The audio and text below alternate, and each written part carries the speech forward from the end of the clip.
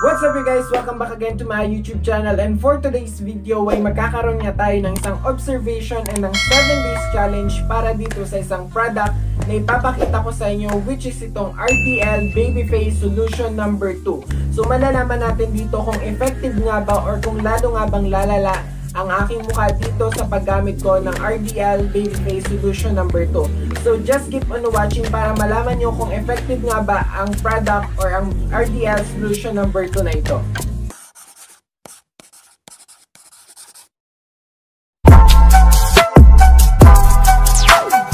Guys, ang RDL ay merong solution number 1, 2, and 3. At ang RDL solution number 3 ay ginagamit para sa mga face na sobrang ganun karami yung pimples nila or yung talagang makikita mo sa mukha nila yung mga pimples.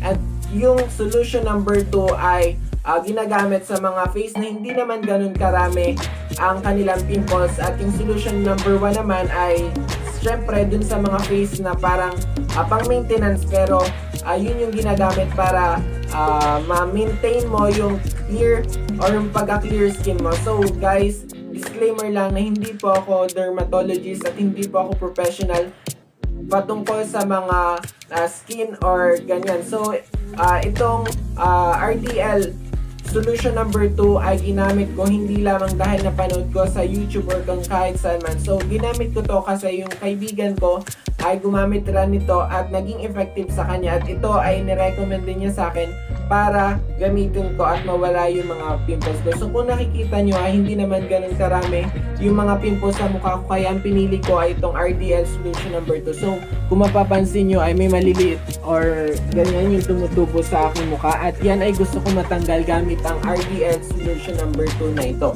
And then kapag sinabi naman nating uh, hydroquinone or yung nilalaman nitong RDL na ito ay based on my research. Daw is a skin lightening agent. It bleaches the skin which can be helpful when treating different forms of hyperpigmentation. Uh, so, uh, yung hydroquinone ang isa sa dahilan kung bakit namumula, namamalat ang ating mukha once nagagamit tayo ng RDL solution number 2 or kung kahit uh, alin man sa solution ng RDL. So, ito talaga ay isa rin sa makakatulong daw para mawala yung mga pimples natin pero ang lahat ng mga haka-haka or mga sinasabi ko sa inyo base sa pagre-research ko ay malalaman natin kapag nagamit ko na ito at naging epektibo na siya in just 7 days.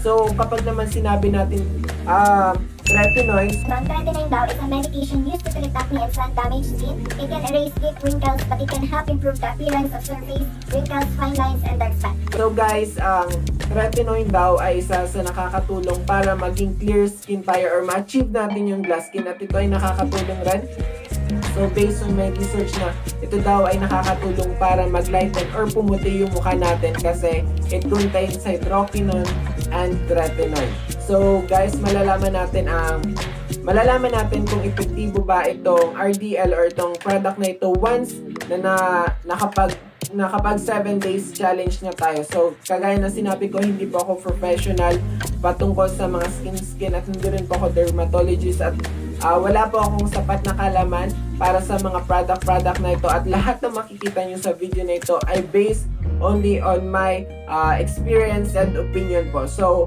uh, try po natin ito at ipapakita ko po sa inyo yung 7 days na paggamit ko nitong RDL na ito. So, uh, standby lang kayo at keep on watching para malaman nyo kung epektibo nga ba ang RDL na ito or kung hindi.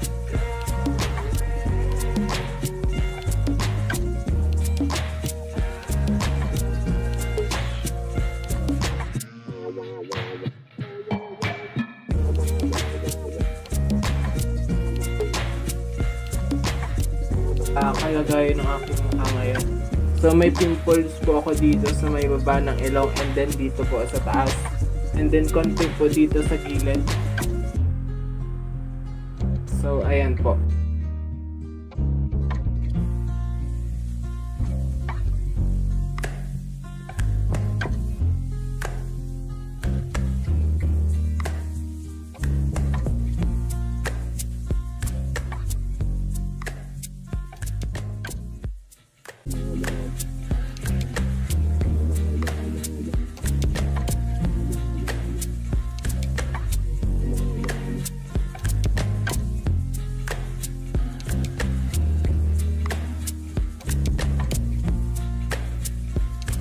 After ko maghilamos guys, ay pinatuyo ko muna yung mukha ko and then ganito yung nangyari. So, nagtuklapan po yung uh, balat ko dito sa may uh, ilalim ng ilong ko. Yan, namalat po siya. At kung nakikita nyo, ay namumula po yung iba kong pimples kasi talagang gagamutin at pahuhupain ng RDL ito. So, yan.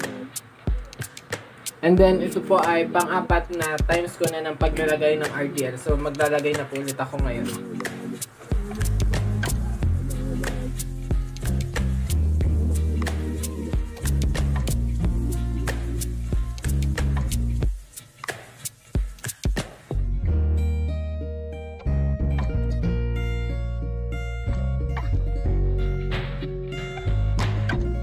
Guys, ayan kung nakikita nyo talagang nagtutuklap na siya, namamalat na siya and then kung makikita nyo yung iba kong pimples ay namumula na.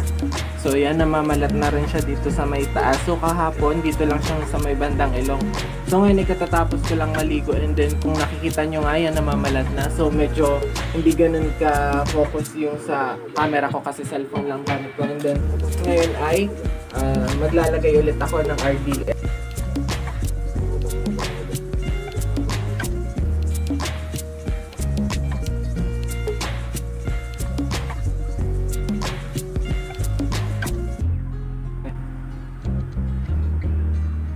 So siguro bukas mas may itutukla pa ito kasi pang ilang araw ko pa lang naman ang paglalagay. Guys, so ngayong mga 9pm, yan kung nakikita nyo dito sa aking muka. Ayan, dito sa may taas ng mata ko, nagtutuklap na po siya.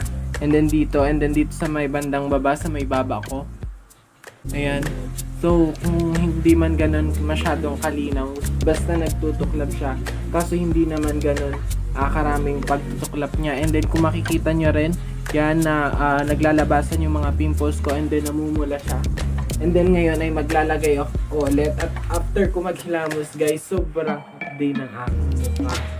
Kaya nagtapat muna ako sa electric fan. So ngayon ay maglalagay ulit ako ng RGF.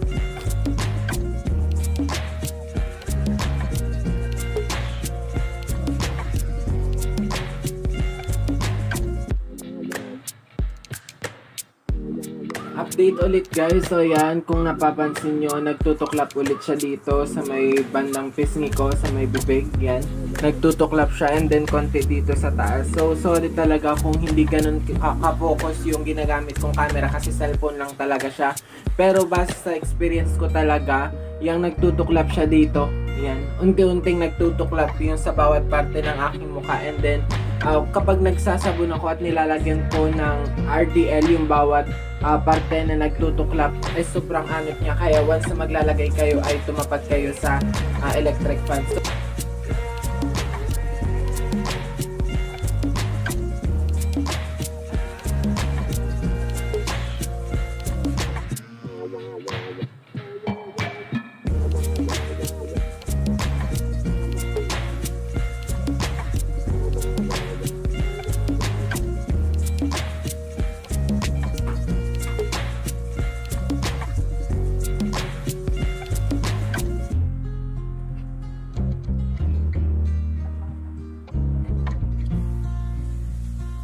uh, nung nakikita nyo no first day, yan, nawawala na siya. And then dito sa may ilong ko, nawala na rin yung pimples. And then, kung mapapansin nyo, parang mga ano na lang siya, mga pimple marks na lang yan. Yan, and then, uh, yung mga blackheads ko. So, hindi naman natatanggal yung blackheads kasi kailangan mong tirisin yun or may pang tanggal ka talaga doon. So, yan, kung napapansin nyo.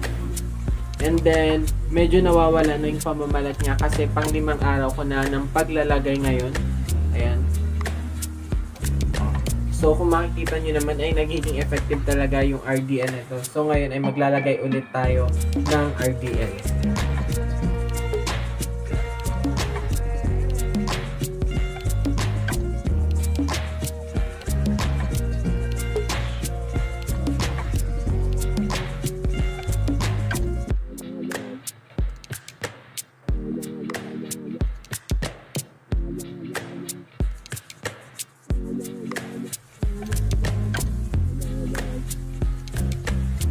Guys nga, ipaanim na paglalagay ko na at base sa aking experience nga, ay talagang gumagana at effective yung RDL. At kung napapansin nyo, So, basta, base sa aking experience, nawawala yung mga pimples ko dito. So, kung, yung, kung napapansin nyo itong mga, itong dalawang mapula, so yan po ay pumula dahil tinanggal ko yung blackheads, kaya siya nagkaganyan. Pero yung mga pimples, noong nakarang araw talaga ay nawala. So ayan, Ah, pero natitira na lang yung mga pimple marks kaya sobrang effective at ngayon ay maglalagay ulit ako ng ah, RTL.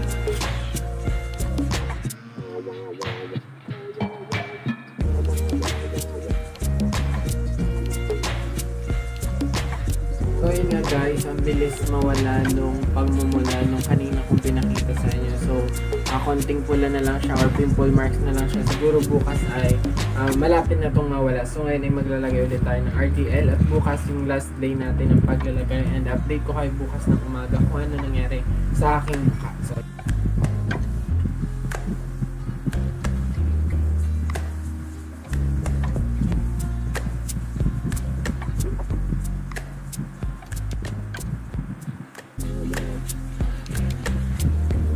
nakita ko sa inyo kahapon na, na pimples na namumulaya, nag-fade na siya at pimple marks na. Siguro bukas ay wala na ito. So ngayon ay yung pang last day ko na ng pag-apply. So sobrang effective niya at sobrang ganda niya. At base sa experience ko ay talagang nag-clear yung aking face at hindi ganon ah, kasama or hindi ka ganun kalugi kapag bumili ka ng RGL kasi sobrang ganda. At ngayon na nga last day ko ng paglalagay at mamaya ay update ko ulit kayo. Kapag maglalagay na ako at bukas ay upload ko na itong vlog ko about dito sa ating 7 days challenge sa ating RDL. At yun na nga guys, ito na yung pinakampang last day ko ng pag-apply ng RDL Baby Face Solution number 2. So dun talaga sa 7 days challenge natin ay makikita natin yung improvement at base sa experience ko talaga ay napaka-effective at napakaganda niya kasi nakiklear talaga yung skin ko at nawawala talaga yung pimples ko dun sa 7 days ng pag-apply ko. So, yan kung napapansin nyo or may napapansin kayo dyang mga maitim-itim guys, yan po ay pimple marks na lang. At yung mga pimples ko po nung nakaraan ay mabilis na wala gamit lamang ang RDN na ito. At kung napapansin nyo naman na mapula yung mukha ko guys, nainitan po ako kanina kaya ah, namula yan. So, ngayon ay yung pang last day ko na nga at mag-apply na ulit ako ng RDN.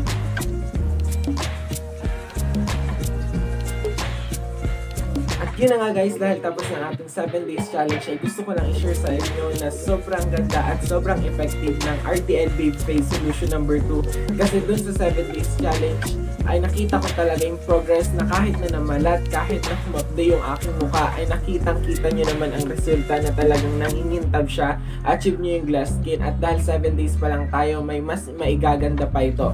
So, sa next day ay, or kung gusto nyo may update ko ulit kayo about dito sa RDL na ito, ay mag-comment lang kayo para magkaroon ulit ako ng vlog about dito at talagang sobrang saya ko nung ah, nawala yung mga pimples ko at ito lang talaga yung tanging product na nagamit ko na nakapagpawala ng pimples ko. So, ayun guys, before kayo gumamit nito, make sure na i-test nyo muna siya within 24 hours at kung nagkaroon ng bad effect sa inyo ay huwag nyo na muna siyang ituloy. At ganun nga sa mga sensitive skin.